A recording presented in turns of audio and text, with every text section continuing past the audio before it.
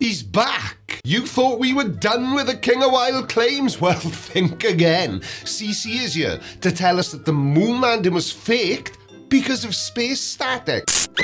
Why is that, you ask? And honestly, that's just the appetizer. Today we're going to see CC, CCC, talking flat Earth in the real world with another actual person. So if you thought this last video was nuts, you haven't seen anything yet. Shut up and sit down, you big bald f. Please subscribe. Okay, I just met Rosen right here. Um, we're just hanging out here, and um, we don't have to disclose the area. We're in Westchester County right now. And we're going to talk a little bit about flat Earth. Flat Earth. Okay, since you brought the subject, I will start with something simple. Simple and flat Earth work well together, and I personally can't wait to hear your simple things, CC's new friend. Okay. The educational system. I know your wife's going to call you in a minute. Yes. so is mine. We can limit. The time, right, so but anyway, we're limited. All right. the educational system. You know, you're born, you go to kindergarten. You're boy, they give you tracks and tools. Mm-hmm. You grow, they give you this and that, blah blah blah. And somehow they shape you according to what you're capable. Then you go to school, and this is where it starts. Stop the tape, it starts in school. Well, duh. They get you with the primary colours first, then the letter G for globe. And before you know it, you're a fully functioning sheep who believes in the concept of area and volume. That's a huge sandal. No, it's not a huge sandal. that would be a giant's flip flop. But this is a huge scandal. Think about the logistics of this globally coordinated brainwashing, CC's new friend. Are the first grade teachers in Wales secretly reporting to NASA command about who drew the roundest picture? No, they're worried about the class hamster and who ate the glue. And if I was a gambling man, I'd put money on these two being the ones who were eating the glue as well as nibbling on the crayons. the idea that a simple, repeatable observation that the Earth is a sphere requires a secret, decades long, multinational psychological warfare campaign against five year olds is. Well, I can't think of anything right now, but I will circle back to it. See what I did there? Circle. And you've never investigated flat Earth at all? No. No. I mean, I read uh, the books of Magellan, Fernando Magellan, how he Sure. went around the world, Okay. blah, blah, blah. And again, this is something that is like uh, hard information on the hard copy, which is a paper back in the time. You read a book. This Yeah, what you yeah, you know, people don't read books anymore. Yeah. So i- if you take, that's my opinion. If you take a child, and from day one in the school you start to convince them that the earth, in is, there with it? All right. the earth is flat or uh, it's a cubic. This is awesome. We've got two people with a complete lack of self awareness. He's criticising the current system for being based on old paper data, but his personal research stops at a paperback about a guy who died 500 years ago. You're demanding empirical proof, yet your personal investigation is a trip to the history island saying, well, if I was told the earth was a cube, I'd believe that too. Yeah, that's precisely the problem. You believe whatever unsupported claim allows you to reject the simple proven fact in front of you. and you walk to one point and then you get through the gravity and it pulls you down to the other flat side and then you go they will believe eventually one day anything Hold on, flat-sided gravity. What the hell are you on about? You've gone from Magellan to the Looney Tunes physics department. Gravity is a force that pulls everything towards the centre of mass. And if the Earth were flat or a cube, gravity would pull objects towards the centre of that flat plane, meaning everything near the edges would be constantly pulled sideways into the centre. You'd be living on a giant two-dimensional dinner plate where you'd have to constantly climb uphill just to stay near the imaginary edge. Try and make actual physics work with that model. I dare you. Well, let me ask you. We, we got to get into a couple things here. All right. okay All right. Um, to, you know, it's not only proving flat Earth. I mean, I'm not saying I'm proving flat Earth whatsoever. I, I am just um, showing people about flat Earth that, um, you know, NASA lies. Uh, tomorrow's the anniversary, you know, of their uh, launch uh, Yeah. here in, in the U.S. uh, 11 1969. or whatever. Yeah, Apollo 11, exactly. Very good. Good. And my question, the one question I do have for everybody is the Van Allen belts. Because back in 1959, a, uh, a scientist said that we can't go beyond that Van Allen belt. Oh, here we go. If you can't prove the Earth is flat, you've got to at least try and prove that the moon landings were fake. All of them, I'm guessing. And CCU chose the Van Allen belt, which is fine. It's a common claim from flat earthers and moon landing deniers. And you're claiming that in 1959, scientists said we can't go beyond the Van Allen belt. And you're absolutely correct that the Van Allen belts are a system of two highly energized radiation zones surrounding the Earth, and they were discovered in 1958. And they do pose a very real risk, which is why actual scientists have spent years solving the problem not lying about it. The massive flaw in your claim, Chris, and every other moon landing denier's claim, including your new pal here, is the assumption that the Apollo simply flew straight to the most dangerous part of the belt and hung out for a picnic. They didn't. But apparently, we, we have been traveling back and forth uh, back from 1969 to 1972 six or seven times in such a short period of time. We never, we never went back.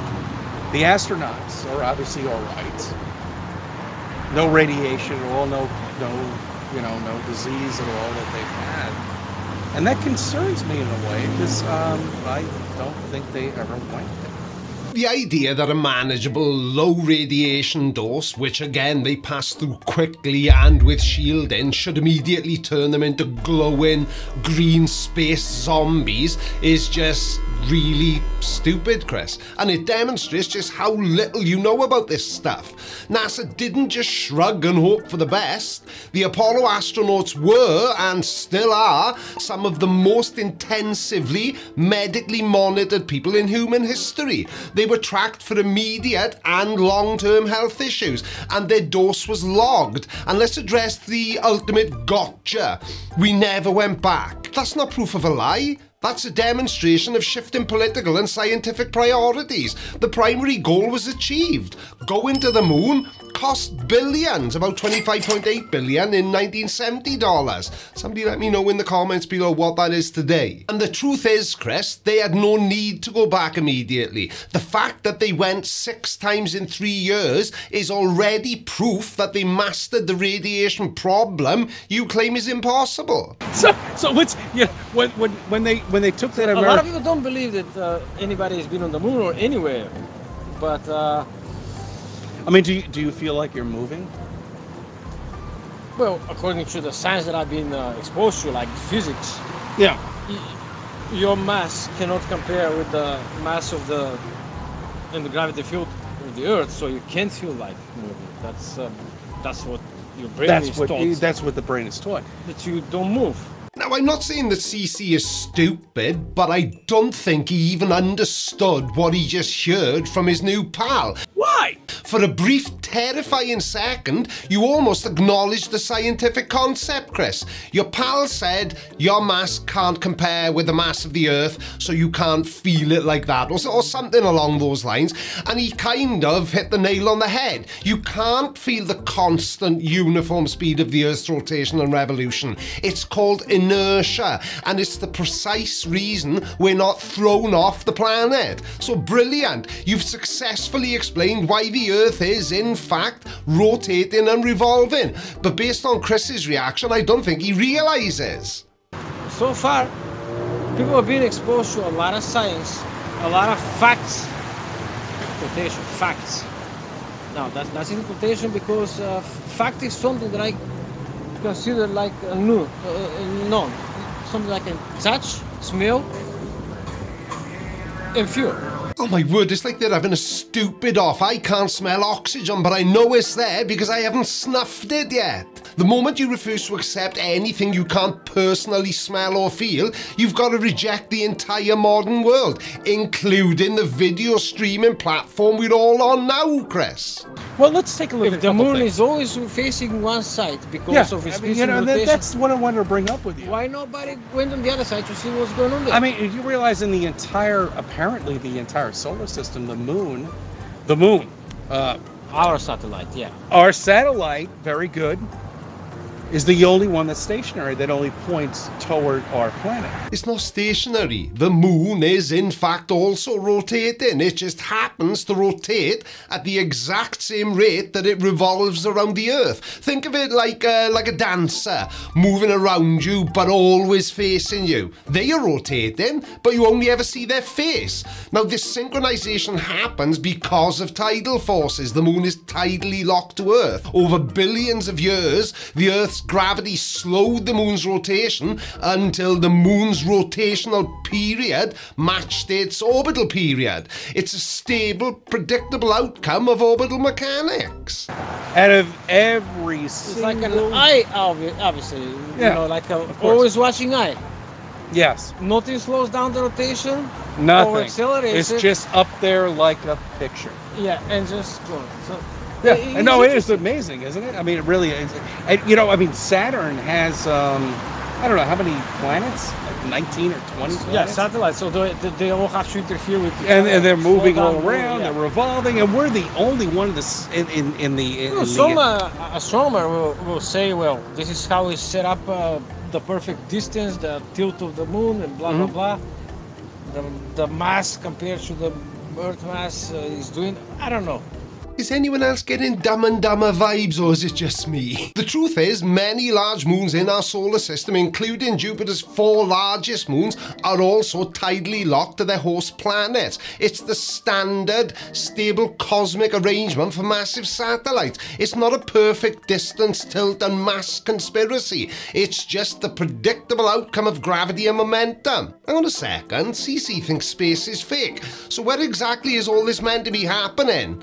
Or not happening. Just when I think you couldn't possibly be any dumber. So, for the entire month of November, or as I'm calling it, Movember. I'm cranking up the dial to 11, seven days a week of content, both uploads and live streams. And why? Because apparently the world hasn't had enough wild claims debunked, and the ad revenue is higher in the last quarter of the year.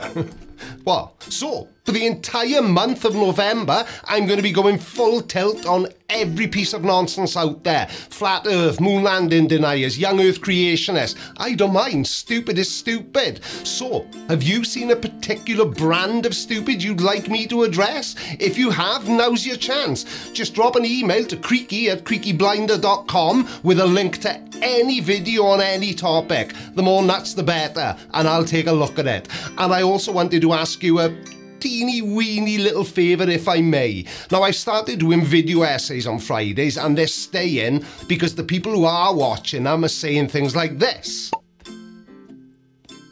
The people who are watching them are absolutely loving them. So that tells me two things. Thing one, I've already said. People are loving them in the comments, my mini documentaries. Thing too is that a huge number of you aren't even giving them a chance. I'm going to link the video essay playlist in the end card, and I wanted to ask you to just try one and see what you think. They're a ton of work, but I'm really, really having fun making them. And if you still don't like them after that, then airy muff.